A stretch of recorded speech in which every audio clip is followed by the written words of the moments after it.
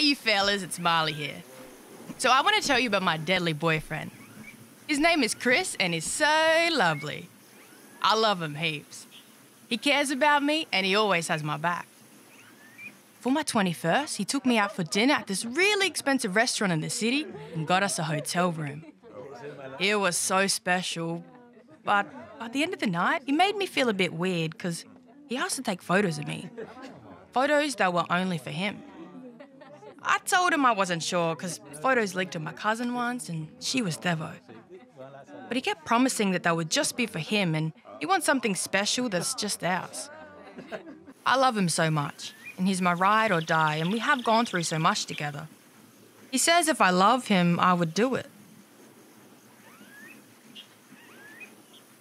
Things are different now.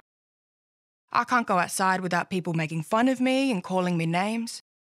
Why do you have to put them up on Snapchat? He said they were only for him. I'm so angry with him.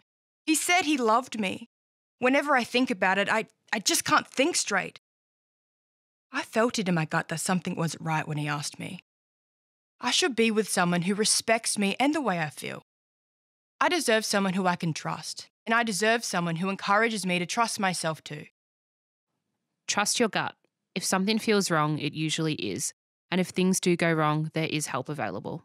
If you think technology is being used to harm you, please contact Djirra for help or eSafety to report image based abuse.